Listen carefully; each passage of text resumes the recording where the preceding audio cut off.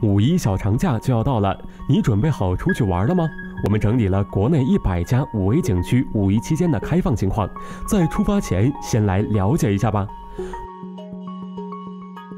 文化和旅游部、国家卫生健康委四月十三号印发的通知要求，旅游景区接待游客量不得超过核定最大承载量的百分之三十，只开放室外区域，室内场所暂不开放。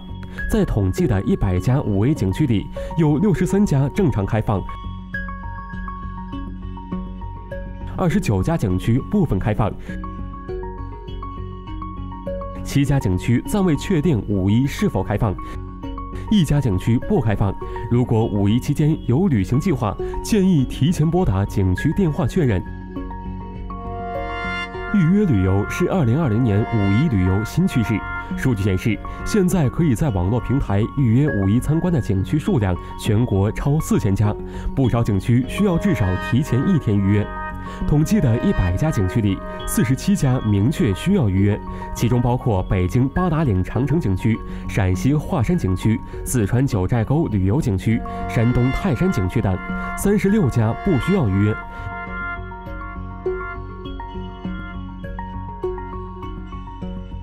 另外一家部分项目需要预约，一家五人以上需要预约。据了解，部分景区存在相应的预约制度，例如河南云台山四月二十七号公告显示，暂不接待团队游客。湖北省所有景区将实行分时段预约制度。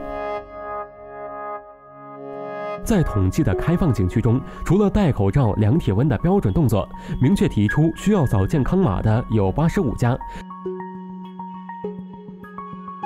强调需实名认证的有五十七家。五一期间，这六家景区只对省内人员开放，另有八个景区暂不确定能否接待外省游客。同时，有景区表示，五一期间景区可能截流，建议外省游客错峰出行。针对外省游客，五家景区表示，对来自低风险地区、持有绿色健康码且满足当地防疫要求的游客开放。另有九家景区明确要求旅客申请当地健康码，四家景区明确表示对中高风险地区游客有限制。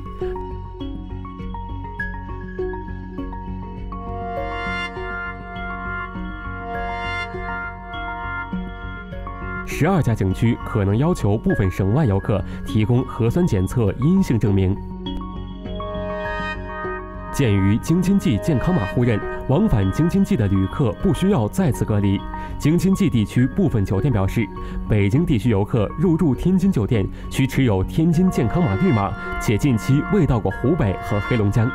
北京地区游客如需入住河北省的酒店，需扫描二维码查看健康轨迹。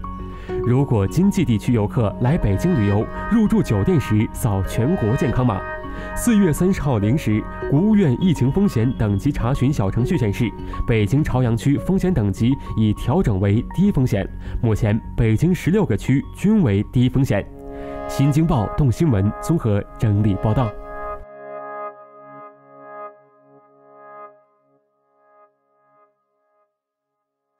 更多新闻资讯，请下载新京报客户端。